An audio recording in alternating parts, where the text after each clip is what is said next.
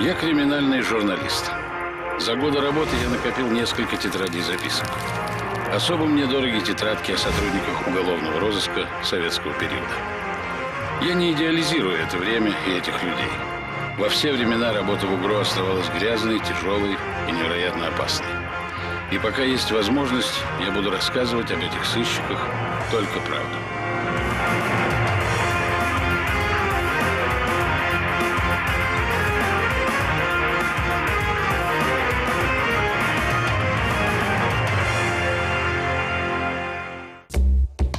Журналистских записках много загадочных, даже мистических преступлений.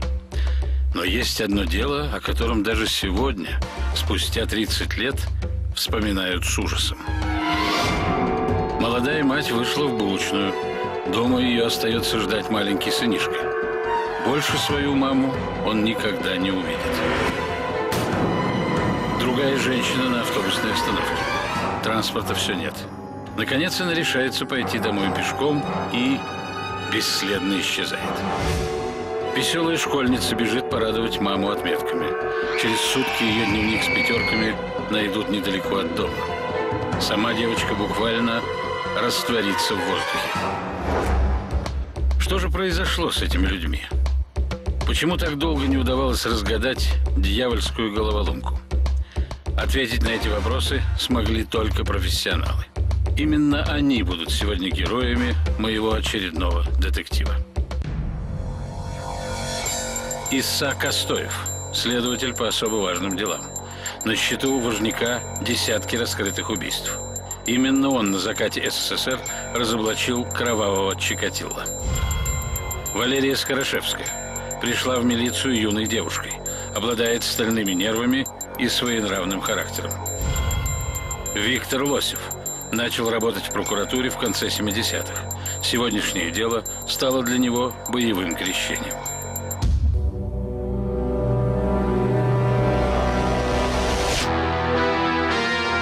78 год. Мир лихорадит. В Афганистане революция, в Израиле теракты, в Африке война. В космос выводят первую в истории человечества орбитальную обсерваторию. В СССР по желаниям трудящихся поднимают цены на бензин, кофе, шоколад и золото. Генсек Леонид Брежнев получает одну из высших наград страны – Орден Победы. В обществе это воспринято неоднозначно. Наша история началась именно в 78-м. Не в шумной Москве, в более тихом Смоленске.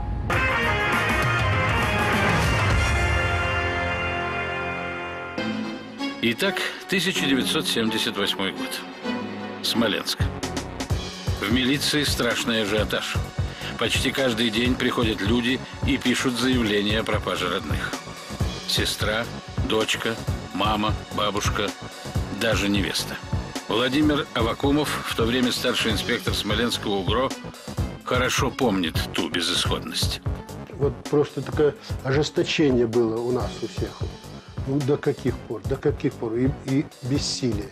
Вот это бессилие защитить людей. Спустя некоторое время в окрестностях Смоленска стали находить тела. На свалках, во врагах, пустырях и болотах. Это были пропавшие ранее женщины. Виктор Лосев, следователь прокуратуры Смоленска, был одним из первых на месте преступления. Она на месте происшествия была абсолютно голая. Лежала в ложбинке оврага. И, как нам потом стало известно, звонил какой-то гражданин, который выгуливал собаку и обнаружил труп. Одежды поблизости не нашли. Виктор Лосев приказал расширить зону поиска. На помощь прибыли кинологи с собаками. В кустах у автотрассы обнаружили вещи погибшей. Платье, туфли, распотрошенная сумочка. Родственники рассказали, на женщине были золотые украшения, цепочка, серьги, старинный перстень, наследство бабушки. Значит, ограбление? Но вскоре пришли результаты экспертизы. Женщина была сначала задушена, а потом изнасилована было понятно, что здесь что-то необычное, потому что до этого таких преступлений у нас не было. Тем временем мертвые тела продолжают находить. И во всех случаях погибшие были задушены, изнасилованы и ограблены. Сыщики выдвигают первую версию. Маньяк-одиночка. Маньяк. В советское время это слово табу. Мне, тогда еще начинающему журналисту, так и объясняли.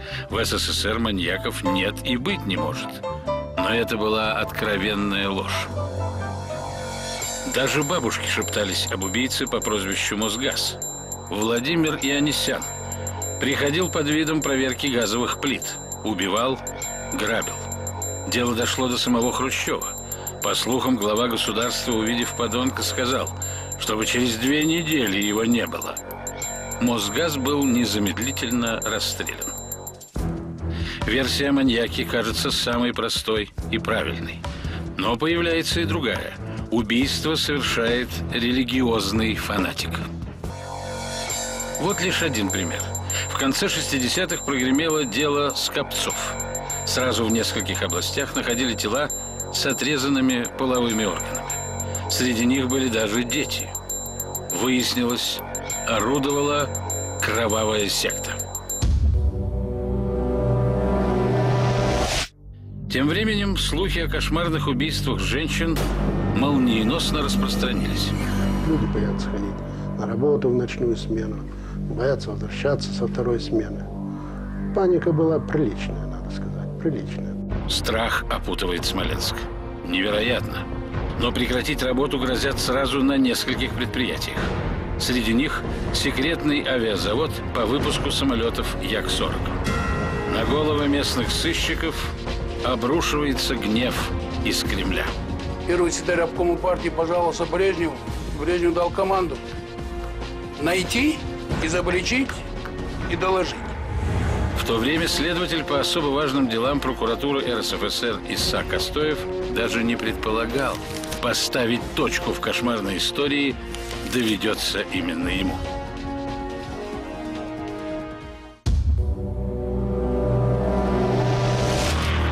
В Смоленске эксперты, исследуя тела, находят первую зацепку.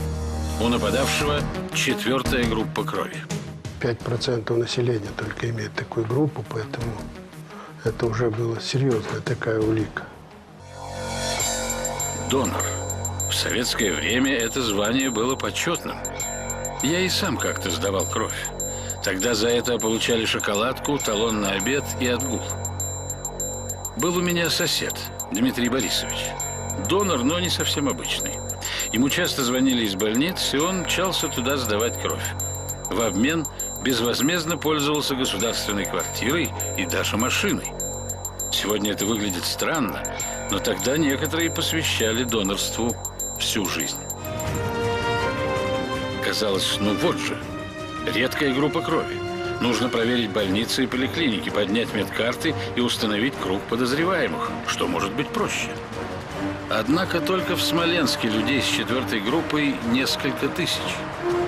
Тем временем в городе произошло очередное преступление. Кто-то напал на пожилую женщину.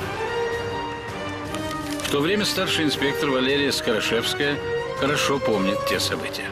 У нее с собой, э, там, в сумке, в сетке, были две бутылки молока. И пока он ее там душил, она исхитрилась и бабахнула его бутылкой по голове, он убежал. Преступнику удалось скрыться. Но у сыщиков появился фоторобот. Однако можно ли ему доверять? Следующее нападение показало, что нет. Кто-то хотел убить десятиклассницу. И вот по этим трамвайным путям она шла домой, наверное. И вот он на нее напал.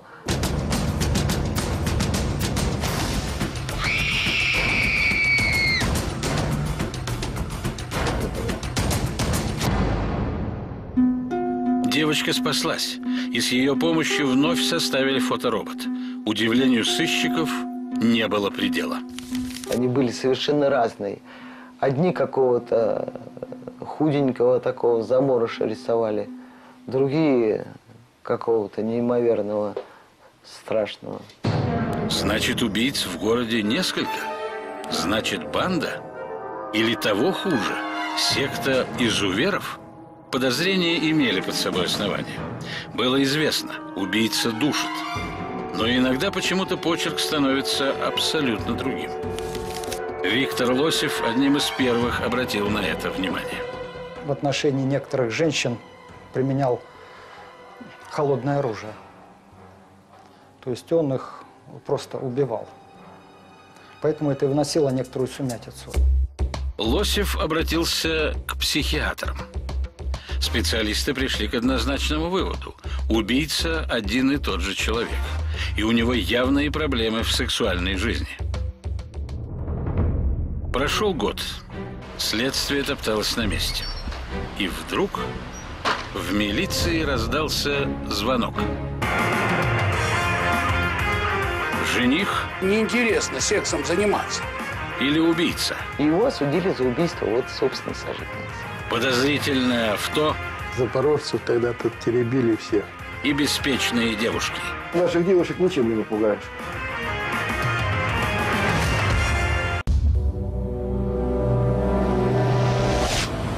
Звонила некая гражданка Нильская. Дама сообщила дежурному, маньяк, о котором шумит весь город, ее сосед, Поляков. На днях Нильская копала в огороде картошку, и вдруг... Встает и видит. Из кустов выходит Поляков и держит в руках нож.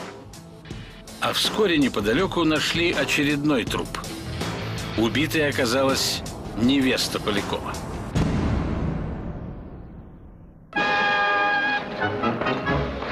Помните забавный стишок эпохи застоя? Водка стала 6,8, все равно мы пить не бросим. Передайте Ильичу, нам и 10 по плечу. В СССР пьянству постоянно объявляли бой. Впрочем, без особого успеха. Пили все. В студенческих общагах, на заводах и фабриках. Да, любители алкоголя всегда найдут себе оправдание. Иногда абсурдное и нелепое. Задержанный Поляков тоже любил зеленого змея. И любовь эта была взаимной и нескончаемой. Жениха берут под арест, а он, выражаясь по-простому, лыка не вяжет. Прямо в камере у него берут необходимые анализы. Удача! Четвертая группа крови. Точно такая, как у таинственного насильника и убийцы. Но проспавшийся Поляков в полной несознанке. А затем неожиданно начинает давать показания. Оказывается, в тот роковой день он решил жениться. Поставьте подпись вот тут и тут. А где свидетели? И, наконец, то самое торжественное. Объявляю вас мужем и женой. Так в СССР рождалась новая ячейка общества. Обряд бракосочетания проводит регистратор Красноярского городского дворца. Уважаемая Ирина Александровна, Евгений Александрович. Прошу ответить жениха. Но что удивительно, разрушить крепкую советскую семью было не так-то просто. Один мой друг в те времена как-то подал на развод. Полюбил другую. Ну, с кем не бывает. Но жена принялась писать. В портком, местком, правком и даже товарищеский суд. Дескать, примите меры, не делайте детей сиротами, пропесочьте его хорошенько. И пропесочили. Стыдили, угрожали, убеждали. Развод не состоялся. И все-таки бросаться на невесту с ножом? Убить невесту? Зачем? Поляков рассказал. За час до свадьбы он узнал от невесты страшную правду. И вдруг она ему заявляет, ты знаешь, что мне с тобой вот половой жизни очень неинтересно сексом заниматься. Вот такой-то там назвали какого-то. Вот он, вот с ним мне приятнее, чем с тобой. В голове помутилось, он схватил нож. Старший инспектор Владимир Авакумов вспоминает. Поляков подписывал все, что ему давали, а затем вообще заявил «Маньяка ищите? Так это я! Стреляйте!» Правда, где и как убивал женщин, не помнил. Прямых улик нет. Но и внятного алиби у него тоже нет. Мнения разделились. Одни считают Поляков тот самый маньяк, другие – он невиновен. Но есть же чистосердечное признание. Дело направляется в суд. там посчитали, что он не причастен к остальным убийствам, потому что он не подходил никуда. И его осудили за убийство вот собственной сожительницы. Полякову дали 9 лет, а жители Смоленска недоумевали. Почему так мало? Значит, поймали не того? Шло время, новых нападений не было. Казалось, историю смоленского маньяка можно уже списывать в архив. Если верить газетам того времени, преступность в СССР неуклонно снижается. Собственно, так и должно быть. Страна строит коммунизм. На первый взгляд все было верно.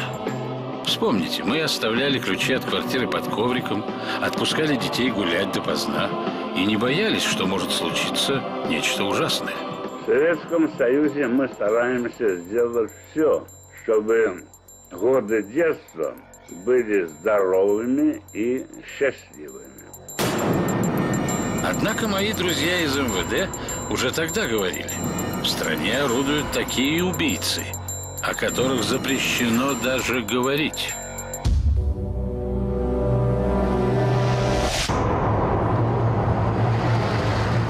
Тем временем в Смоленске в районе полиграфкомбината опять убийство. Владимир Авакумов был в составе опергруппы, которая прибыла на место преступления. Снова обнаженная женщина, разбросанные вещи. Я тогда лично косу взял, выкосил эту всю речку, прокосил.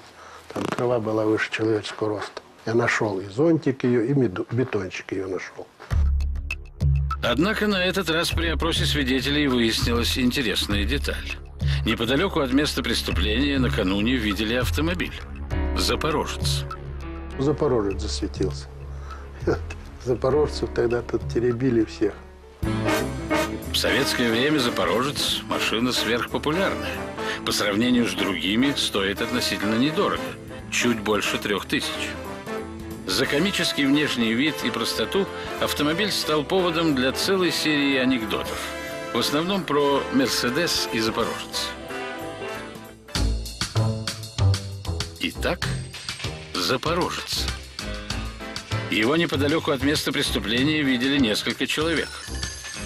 Но никто не запомнил номера. Такую размытую ориентировку пришлось отправлять в ГАИ. В то время младший инспектор Михаил Романчук вспоминает. Работать приходилось по 16 часов в сутки, без выходных и перерывов на обед. По городу, когда патрулировали, смотришь, видишь, что там предстает девушкам, там проследишь за ним, доведешь либо до дома, либо там, где он остановится. Сотни номеров подозрительных автомашин, адресов, примет. А тут еще по рации передают. Только что исчезла девушка. Наших девушек ничем не напугаешь. Хоть здесь маньяки ходят толпами, будут ходить. Жизнь, она везде, жизнь, она продолжается. К утру по рации передают отбой. Девушка просто загуляла, встречалась с парнем. А между тем нападения продолжались. Оставался один выход.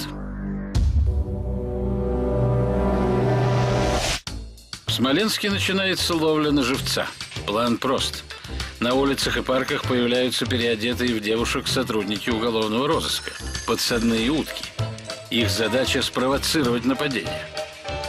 Парней тщательно гримируют. У каждого свой имидж. Сексапильная блондинка, развязанная брюнетка и стеснительная шатенка. Была ужасно секретная операция, мальчиков этих переодели всех. И даже мы не знали, мы уже лазили по ночам по городу, вот, а эти мальчики уже ходили. Парни в женских одеждах прохаживались по городу. Неподалеку постоянно находились группы задержания. Но маньяк никак себя не проявлял.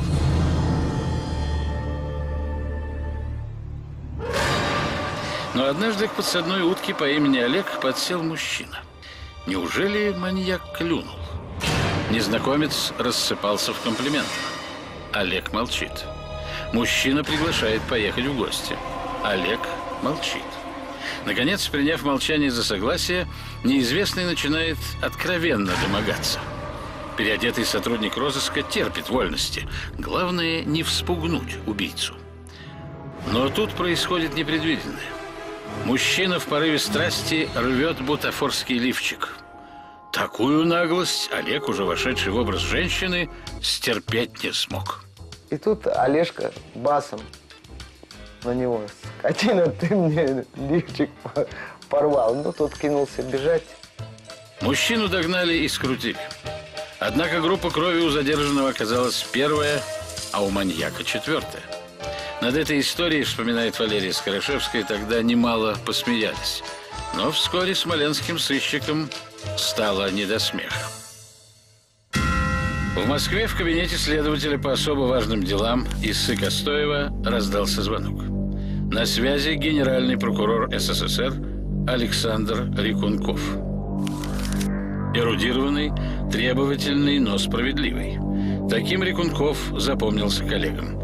Генеральный без лишних слов приказал выехать в Смоленск. Самый тяжелый для меня период в моей жизни. За месяц до этого у меня родились два сына, близнецы.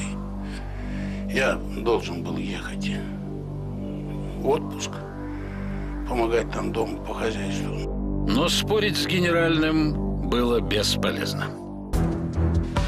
А в Смоленске ловля на живца продолжалась. Для убедительности на улице вышли уже настоящие девушки, в том числе и Валерия Скорошевская. За ней по пятам незаметно следует сотрудник прикрытия. Володя Бруев за мной ходил. Я уже знала его шаги, что он идет сзади, потому что больше там не на что особо внимания обращать. Тишина, ночь. Но однажды послышались другие, незнакомые шаги. Скорошевскую начинает кто-то преследовать. Как быть?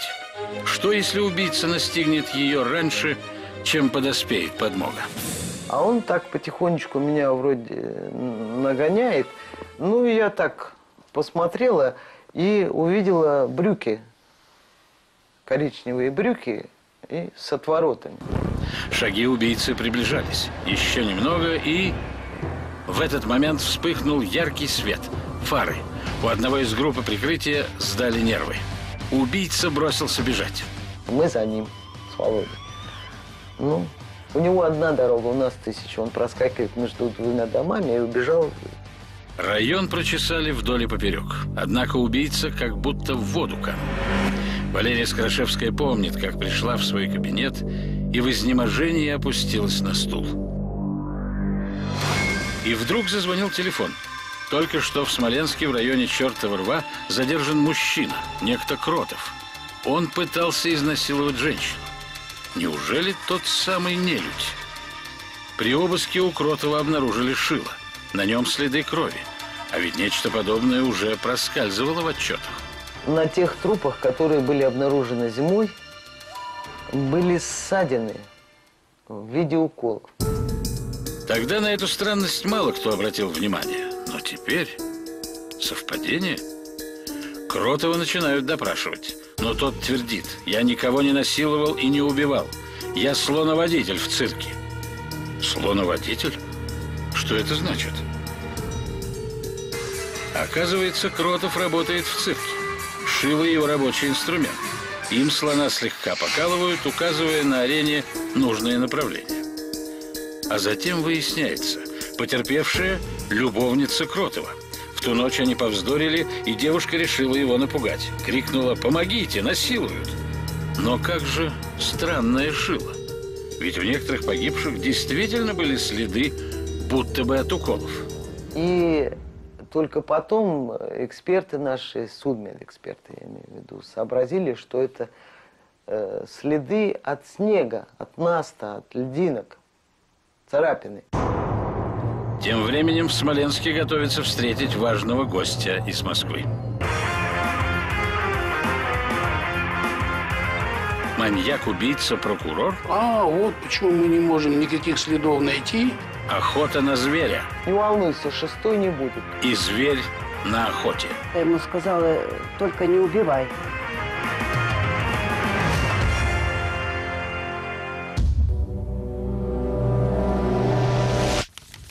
Следователь по особо важным делам Исса Костоев прибыл в Смоленск в начале марта 81-го. На первом же совещании послышался ропот. Они восприняли мой приезд как личное оскорбление и были определенные трения. Но я сказал, что не я выбираю. Но решение генерального прокурора никто не посмел оспорить. Костоев получил полную свободу действий. Опытный важняк решил начать все сначала. Затребовал нераскрытые дела и закрылся на несколько дней в кабинете. Что же известно о смоленском маньяке? Четвертая группа крови, мужчина молодой, жертвы раздевает, одежду выбрасывает. Костоев чертит схему. Нападения совершены в Смоленске и области. Ясно, что преступник использует автотранспорт. Была версия, что запорожец. Но Костоев обращает внимание на показания свидетелей, которые видели неподалеку, в том числе и грузовые автомобили. Костоева осенило. Ну, конечно же. А что, если маньяк – шофер? Постоянно в разъездах, по накладным. Любой пост ГАИ посмотрит путевку и отпустит. Кому в голову придет проверить настоящий маршрут? Выехал, убил, вернулся на шоссе и снова, как ни в чем не бывало, поехал дальше. Эта версия казалась все более вероятной. Своей догадкой Костоев поделился с одним из следователей, но услышал, а зачем кого-то ловить?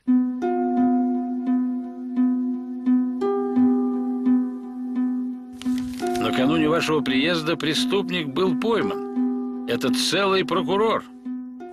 Ему предъявлено обвинение, как сегодня помню сказать, 26 признаков того, что это совершил он.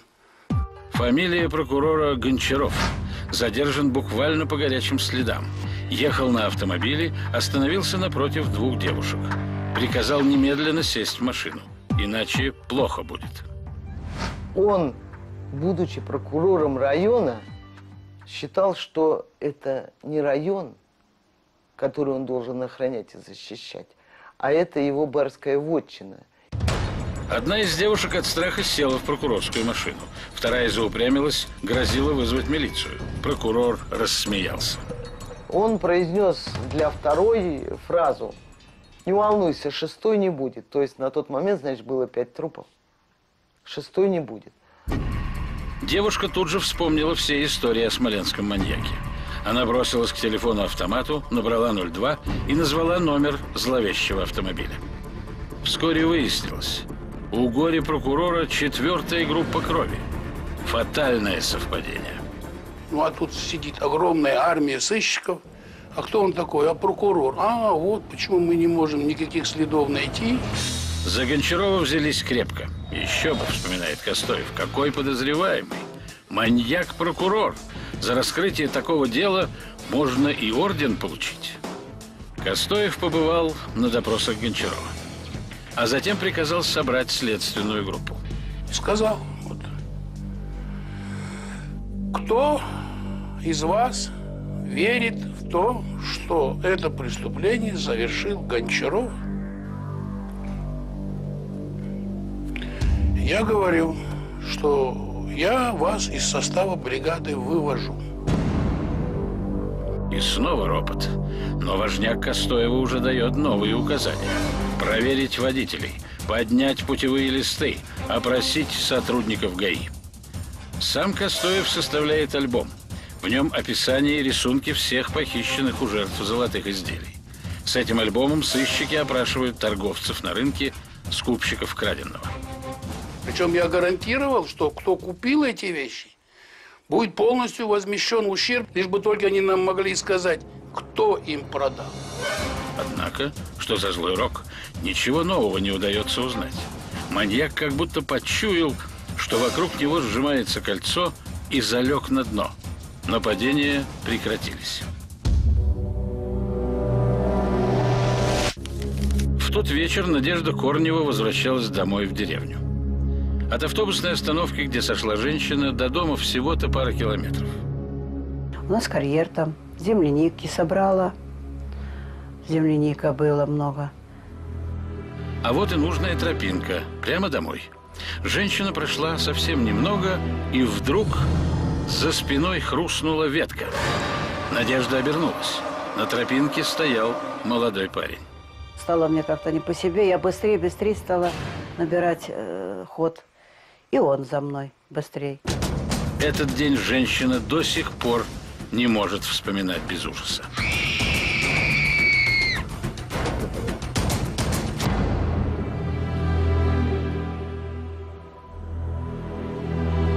А он меня сжал за, ши... за горло и стал давить. Я обернулась я уже и что-то ему сказала, только не убивай. Типа того, да. От нехватки кислорода Надежда потеряла сознание. Очнулась на болоте. Все тело болит. К горлу от тины подступает тошнота. Еле-еле Надежда Корнева дошла домой. Родители были в ужасе, увидев свою дочь в грязи и разорванном платье. Отец на велосипед, тогда еще он не старый был, и э, ружье это схватил и поехал э, искать его. А где его найдешь? Его и след простыл. Надежда была в шоке. Даже толком не могла описать насильника. Пришлось использовать психологический ход. За ней была закреплена очень талантливая следователь следственной бригады из Белоруссии Атаманова Зинаида. Женщина женщине скорее доверится, особенно если речь идет о насилии. Зинаида Атаманова не стала допрашивать, а просто пригласила поговорить по душам. Все я ей сказала, как со мной случилось. И она начала мне показывать альбомы. Вот эти фотографии судимых.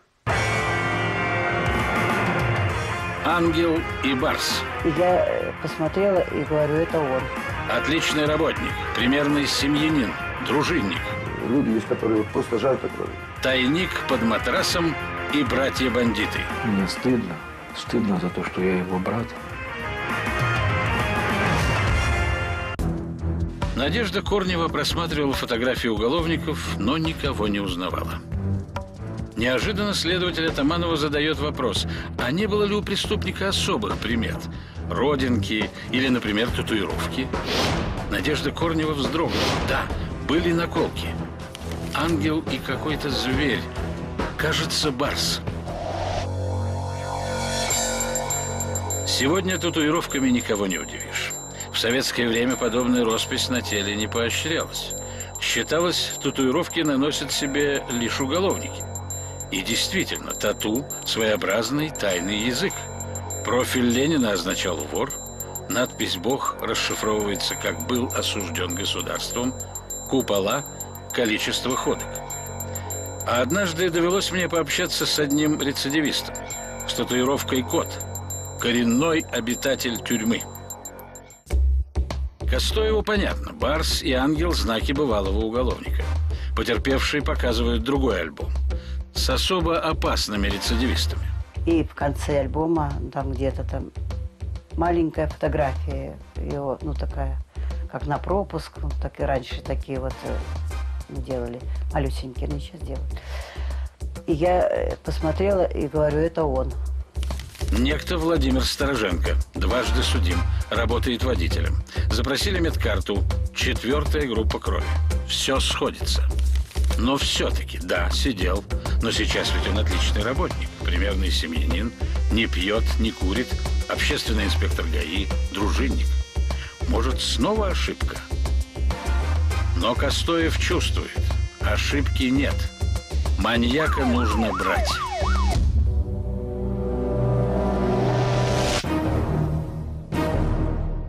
Стороженко задержали после работы и сразу закрыли в отдельной камере. Я знаю, что его как только привезли, ни один человек к нему не имел никакого доступа, ни один следователь, ни один оперативник. В его доме провели обыск, все чисто. И тут Валерия Скорошевская обращает внимание на кровать. На ней лежит парализованная мать Стороженко.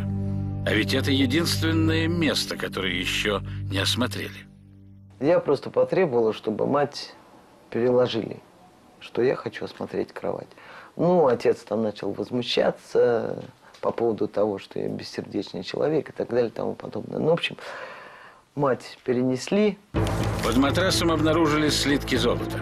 Это были переплавленные украшения убитых женщин. Это Сергей, родной брат маньяка. Даже по прошествии многих лет он не в состоянии смотреть людям прямо в глаза. Я просто вот эту боль, эту боль, все я через свою жизнь пронес. Вот. Мне стыдно. Стыдно за то, что я его брат. Вот. Мне стыдно, что я эту фамилию носил. Мне стыдно перед людьми. Мне действительно, я вам честно перед Богом клянусь, мне стыдно. Сергей уверяет, о кровавых похождениях брата даже не догадывался. Честно сказать, душа умерла после всех этих событий. Просто душа умерла. Больше я не знаю, как, как это все объяснить. Мне жалко людей, которые пострадали. Собранные против Владимира Стороженко улики были неоспоримы. Но маньяк упорно молчит. И тогда в кабинет заводят Надежду Корневу. Убийца не знает, его последняя жертва осталась в живых. Увидев Корневу, Стороженко сник. Отпираться бессмысленно. Кровожадный монстр признается в 13 убийствах.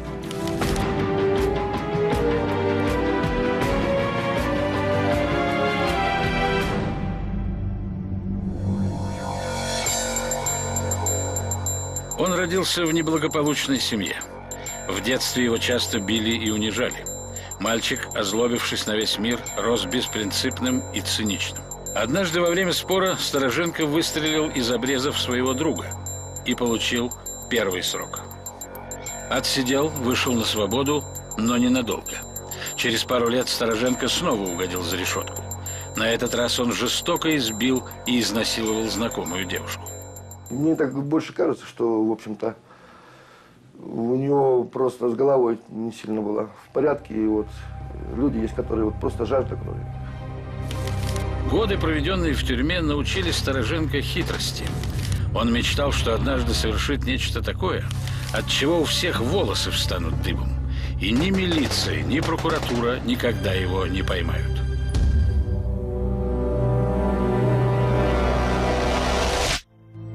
После ареста подлинного маньяка с районного прокурора Гончарова сняли все обвинения. Но жизнь человека была сломана. На прежнюю работу он уже не вернулся. Что же касается Владимира Стороженко, то его приговорили к смертной казни. Убийца 13 женщин был абсолютно уверен. Его не расстреляют. Почему? Эту тайну он унес в могилу.